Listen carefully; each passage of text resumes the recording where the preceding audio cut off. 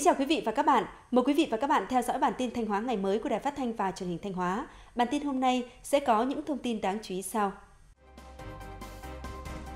Khắc phục tình trạng tàu cá đóng mới theo Nghị định 67 nằm bờ.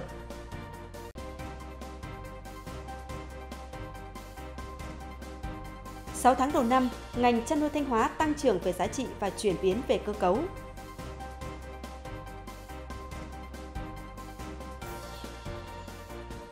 Tình trạng điện chập chờn tại xã Triệu Lộc, huyện Hậu Lộc vẫn chưa được cải thiện.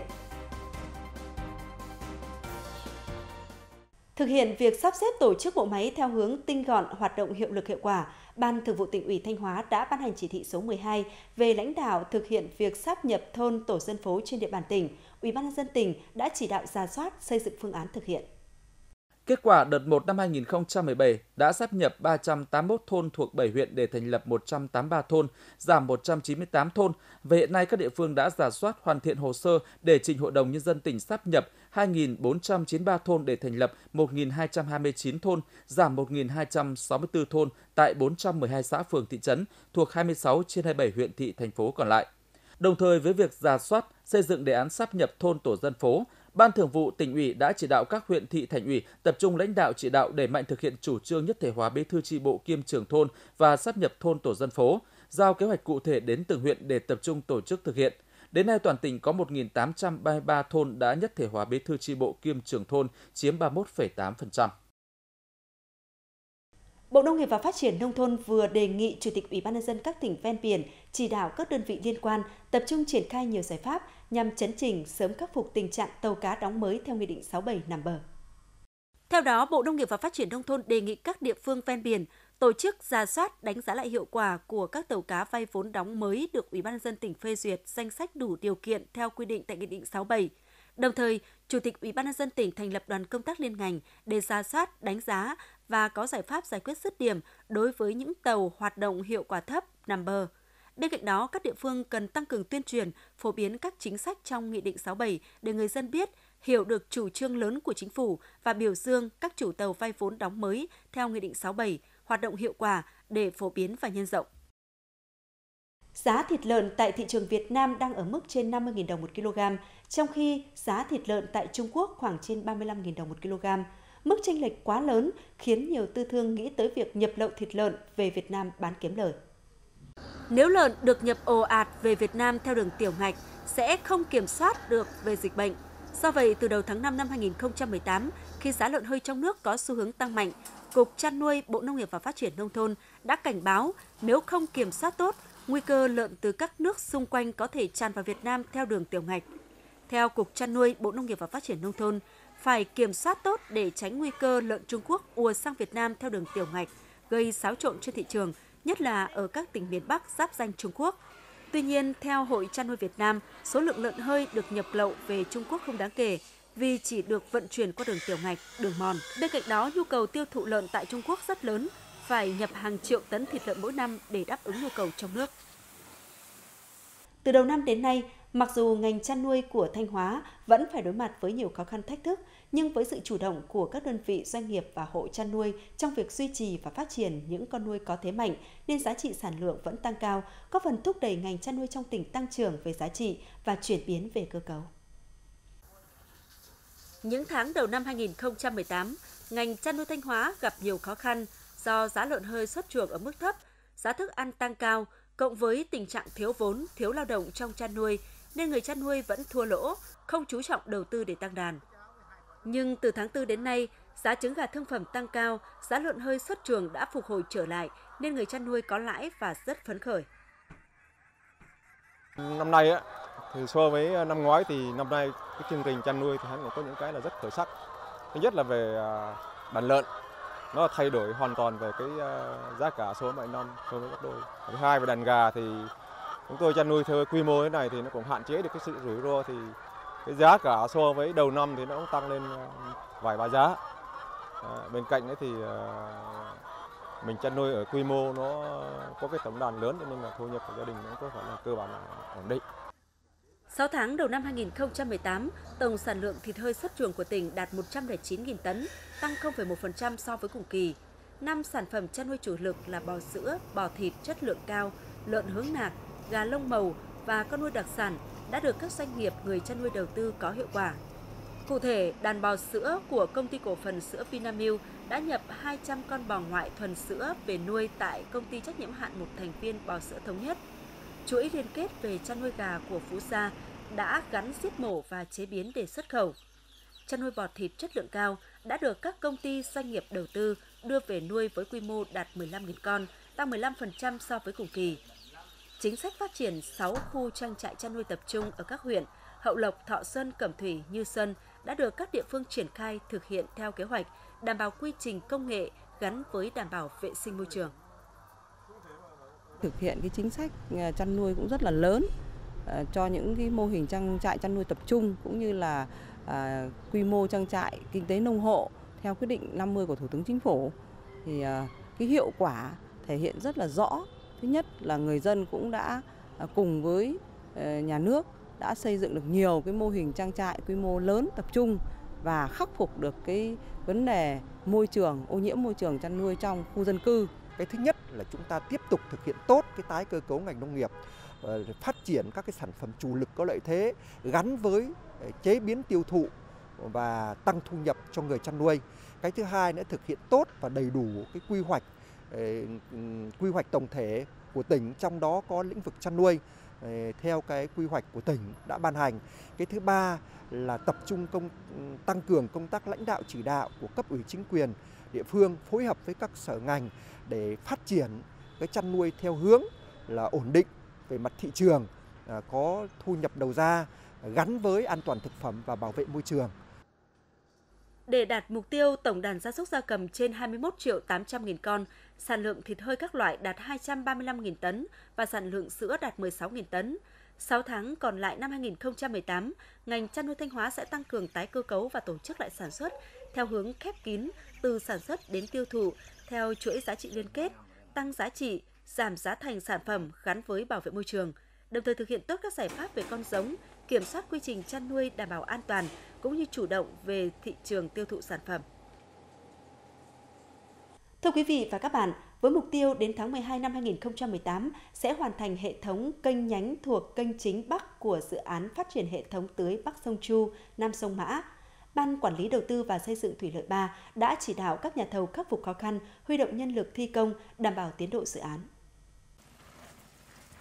Mặc dù thời tiết mấy ngày qua rất oi nóng, nhưng với mục tiêu hoàn thành gói thầu đúng thời hạn, nhà thầu đã chủ động sắp xếp thời gian thi công hợp lý. Do vậy, tiến độ thi công của gói thầu cơ bản được đảm bảo. Hiện giờ là hầu như tất cả các kênh chính, kênh cấp 1 là truyền nước từ kênh chính Bắc của từ hồ Cờ Đạt đấy là ra đến đây là đã hoàn thành. Còn bây giờ là còn tất cả các kênh ờ, kênh nhánh để tưới ờ, nước cho bà con thì là chúng tôi đã hoàn thành được 50% rồi. Chúng tôi ờ, đã cam kết à, từ giờ đến cuối năm và đấy, cuối năm thì sẽ có sẽ kết thúc cái dự án này.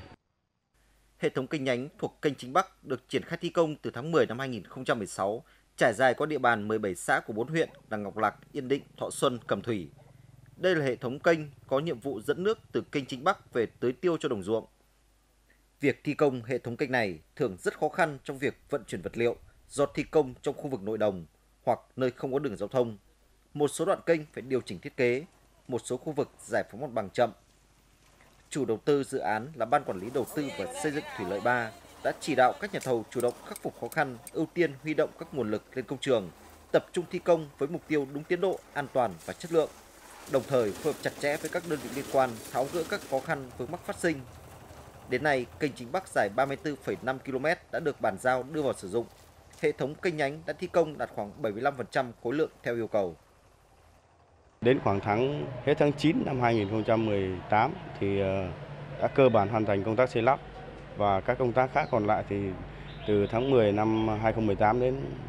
à, 31 tháng 12 năm 2018 thì sẽ hoàn thành tất cả các thủ tục Ờ, nghiệm thu bàn giao cho đơn vị quản lý sử dụng và đưa vào khai thác đồng bộ. Sau khi hoàn thành và đưa vào sử dụng, kênh Chính Bắc và kênh nhánh thuộc kênh Chính Bắc có nhiệm vụ dẫn nước tưới cho hơn 28.000 hecta cây trồng trên địa bàn các huyện Ngọc Lặc, Yên Định, Thọ Xuân, Cẩm Thủy, cấp nước dân sinh và chăn nuôi gia súc gia cầm, cải thiện môi trường sinh thái trong vùng và phát huy đồng bộ hiệu quả của công trình thủy lợi thủy điện Cửa Đạt. Từ nhiều năm nay, người dân ở thôn Gia Lương, xã Triệu Lộc, huyện Hậu Lộc thường xuyên phải dùng nguồn điện sinh hoạt chập chờn không ổn định. Đặc biệt là trong thời tiết nắng nóng như những ngày vừa qua thì điện ở đây rất yếu, ảnh hưởng lớn đến đời sống sinh hoạt của người dân. Đây là chiếc tivi thứ ba bị hỏng của gia đình ông Nguyễn Văn Quấn, thôn Sa Lương, xã Triệu Lộc, huyện Hậu Lộc. Do nguồn điện chập chờn không ổn định khiến tivi và các thiết bị điện khác của gia đình ông liên tục hư hỏng. Điện thì sinh hoạt là không sinh hoạt được rồi. Chả mà nó chi được nổi nữa thế. Ừ, bơm nước không bơm được. Cháy cả máy bơm, cháy cả tivi. Thôn Gia Lương hiện có 243 hộ dân, trong đó có khoảng 130 hộ đang phải dùng nguồn điện yếu. Một số gia đình có điều kiện kinh tế đã phải đầu tư thiết bị ổn áp để điều chỉnh điện áp. Thế nhưng vào những lúc cao điểm thì thiết bị này cũng không thể cứu vãn được tình trạng điện yếu. Từ trạm biến áp vào cái điểm cuối là Ờ, trên ba cây số và ừ, ừ, các cái hộ xung quanh vành đai núi vào cái điểm cuối là ờ, cái khu vực này là điện rất chi là khó khăn, rất chi là yếu. Ở đây là thực tế là ờ, đến cái thời điểm ví dụ như là đầu hôm là cái thời điểm cao điểm thì điện nó chỉ xuống còn khoảng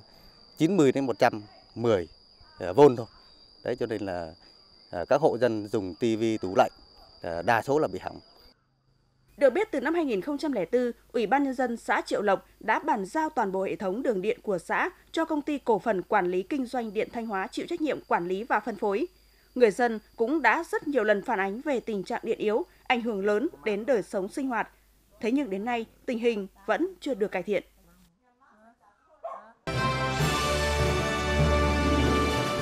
Theo thống kê của Bộ Y tế, hiện nay số lượng người dân địa phương đến khám chữa bệnh tại các trạm y tế chỉ chưa đến 20%. Một trong những nguyên nhân khiến số lượng người dân địa phương đến khám chữa bệnh tại các trạm y tế chỉ chưa đến 20% là đơn thuốc khám chữa bệnh bảo hiểm y tế ngoại trú tại các trạm y tế xã không quá 100.000 đồng, thậm chí có nơi chỉ 50.000 đồng. Nhiều kỹ thuật thực hiện được nhưng không được thanh toán theo bảo hiểm y tế, thậm chí nhiều danh mục kỹ thuật không có người thực hiện. Bộ Y tế cho rằng những hạn chế của tuyến y tế cơ sở là nhân lực, hạ tầng, trang thiết bị, dịch vụ chuyên môn trong danh mục bảo hiểm y tế quá ít, danh mục thuốc nghèo nàn và chi trả bảo hiểm y tế thấp là nguyên nhân để người dân vượt tuyến. 6 tháng đầu năm 2018, số người vượt tuyến lên huyện khám là 52%. Cục Quản lý Dược Bộ Y tế vừa có công văn về việc đình chỉ lưu hành và thu hồi toàn bộ lô thuốc viên nén bao phim Unicef do công ty cổ phần dược phẩm Trung ương Codufa nhập khẩu. Cụ thể, viên nén bao phim Unicef số đăng ký VN1878615 HD 022020 do công ty cổ phần dược phẩm Trung ương Codufa nhập khẩu bị buộc đình chỉ lưu hành và thu hồi toàn bộ lô thuốc vì lý do không đạt tiêu chuẩn chất lượng về chỉ tiêu độ hòa tan. Cục Quản lý Dược Bộ Y tế yêu cầu công ty cổ phần dược phẩm Trung ương Codufa phối hợp cùng nhà cung cấp và phân phối thuốc thu hồi toàn bộ viên nén bao phim Unicef không đáp ứng quy định. Bệnh viện Đa khoa tỉnh Thanh Hóa vừa tổ chức khám chữa bệnh nhân đạo và cấp thuốc miễn phí tại xã Thạch Lâm, huyện Thạch Thành. Hơn 300 bà con là người nghèo gia đình chính sách của xã Thạch Lâm được khám và thực hiện một số kỹ thuật như siêu âm, điện tim, xét nghiệm máu, đồng thời tư vấn sức khỏe, tư vấn kiến thức về một số bệnh thường gặp, định hướng cách điều trị đối với những người đang mắc bệnh – Chương trình khám chữa bệnh của Bệnh viện Đa khoa Thanh Hóa tại xã Thạch Lâm, huyện Thạch Thành là hoạt động hưởng ứng tháng cao điểm khám chữa bệnh nhân đạo nhằm đưa các dịch vụ chăm sóc sức khỏe đến với bà con vùng sâu, vùng xa, vùng đồng bào dân tộc thiểu số, góp phần thực hiện chính sách an sinh xã hội của Đảng và Nhà nước. Thưa quý vị và các bạn, vào lúc 7 giờ 45 phút sáng nay, kỳ họp thứ 6 Hội đồng Nhân dân tỉnh khóa 17 sẽ chính thức khai mạc. Tại kỳ họp này, Hội đồng Nhân dân tỉnh sẽ xem xét và nghị quyết các vấn đề quan trọng của tỉnh – chất vấn và trả lời chất vấn. Đài Phát thanh và Truyền hình Thanh Hóa sẽ truyền hình và phát thanh trực tiếp tất cả các buổi làm việc tại hội trường. Mời quý vị và các bạn chú ý theo dõi.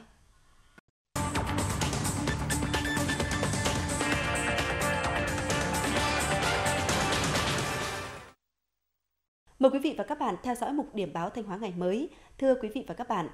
trước tình hình ngày càng căng thẳng của cuộc chiến thương mại Mỹ-Trung, nhiều chuyên gia kinh tế nhận định Việt Nam có thể là quốc gia nhận được nhiều cơ hội cũng như lợi ích kinh tế từ cuộc chiến thương mại giữa Mỹ và Trung Quốc.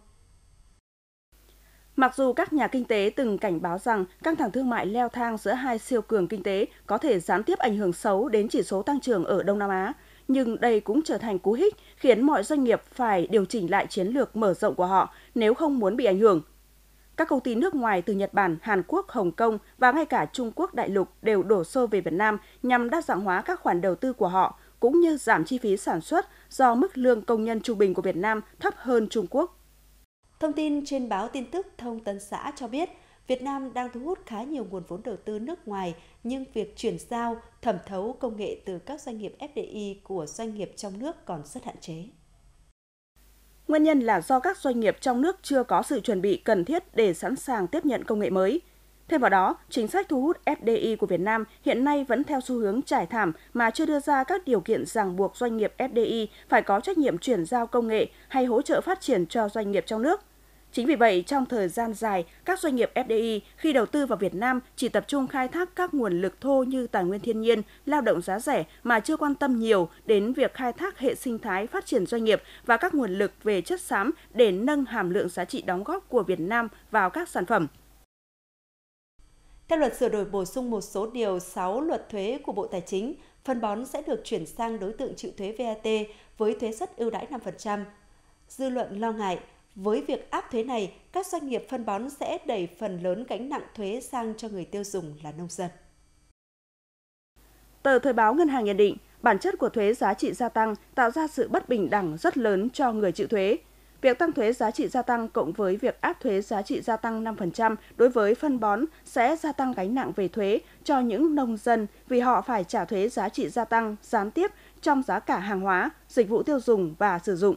Một khi thuế giá trị gia tăng 5% đối với phân bón, đồng nghĩa người nông dân phải chịu thêm một khoản chi phí khi sử dụng các sản phẩm, hàng hóa đầu vào cho sản xuất nông nghiệp như phân bón luôn trực trở tăng giá vì thuế.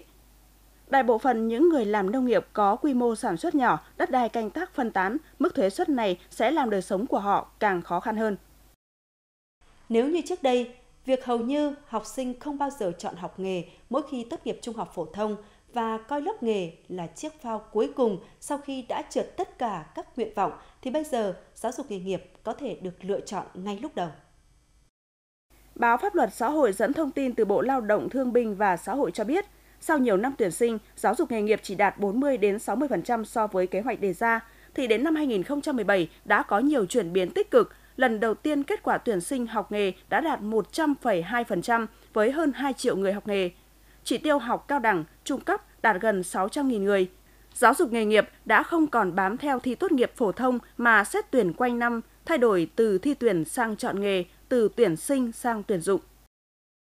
Bộ Lao động Thương binh và Xã hội vừa lựa chọn 6 doanh nghiệp ở phía Bắc để thí điểm đưa lao động ngành hộ lý điều dưỡng sang Nhật Bản. Ngay sau khi danh sách được công bố, một số doanh nghiệp cho rằng việc giới hạn này là không hợp lý và Bộ cần công khai các tiêu chí cụ thể để doanh nghiệp nộp hồ sơ công khai minh bạch. Giải đáp về vấn đề này, lãnh đạo Bộ Lao động Thương binh và Xã hội thừa nhận hiện chưa có tiêu chuẩn cụ thể do Việt Nam và Nhật Bản vẫn đang đàm phán để sớm đưa ra các tiêu chí. Sáu doanh nghiệp này được lựa chọn dựa trên kết quả xếp hạng và việc tuân thủ quy định pháp luật của doanh nghiệp thời gian qua. Những doanh nghiệp thí điểm phải được lựa chọn kỹ do Ủy ban chính sách của Thượng viện Nhật Bản đưa ra yêu cầu những tổ chức của Nhật phải đáp ứng một số yêu cầu cụ thể mới được tiếp nhận thực tập sinh ngành điều dưỡng hộ lý.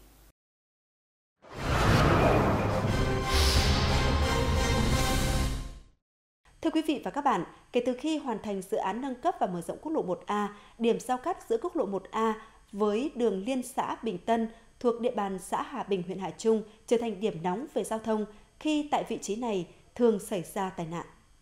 Thưa quý vị và các bạn, tại ngay điểm giao cắt giữa quốc lộ 1A và đường liên xã Hà Bình Hà Tân là một điểm vị trí cực kỳ nguy hiểm mất an toàn giao thông. Khi thực tế mà hàng năm có tới vài vụ tai nạn giao thông gây chết người ở vị trí này. Chỉ tính riêng 6 tháng đầu năm 2018, tại vị trí này đã xảy ra hơn 10 vụ tai nạn làm 18 người bị thương. Và cái nguyên nhân dẫn đến tai nạn phần lớn là do bất cập về kết cấu hạ tầng nơi đây. Tuyến đường quốc lộ được bố trí giải phân cách và tấm chống lóa giữa đường nhằm tăng cường đảm bảo an toàn giao thông.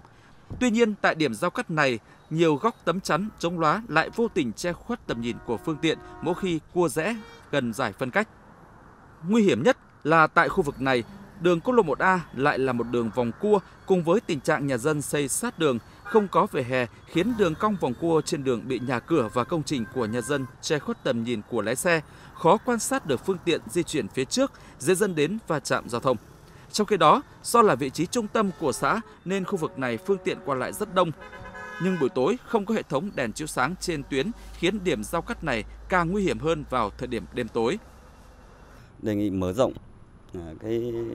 giải phân cách giữa đường ở phía phía phía ra Hà Nội. thì hiện nay là hơi ác với cái cái cái đường rẽ vào Hà Bình Hà Tân. Và hai nữa là hạ thấp cái tấm chắn loá. Thì hiện nay đi từ Thanh Hóa ra Hà Nội mà rẽ vào thì rất bị khuất cho nên rất dễ xảy ra tai nạn. Bên cạnh những bất cập về hạ tầng, khu vực này trở nên phức tạp và tiềm ẩn nguy hiểm cũng có một phần do ý thức người dân tham gia giao thông kém. Rất nhiều người không đội mũ bảo hiểm, thậm chí còn đi ngược chiều trên quốc lộ. Do đó, trước khi những bất cập về hạ tầng giao thông được nghiên cứu và điều chỉnh phù hợp, thì người dân cũng cần có ý thức chấp hành pháp luật để hạn chế những rủi ro cho bản thân và mọi người. Chương trình Thanh Hóa ngày mới hôm nay xin được khép lại tại đây. Cảm ơn sự quan tâm theo dõi của quý vị và các bạn. Xin kính chào tạm biệt và hẹn gặp lại.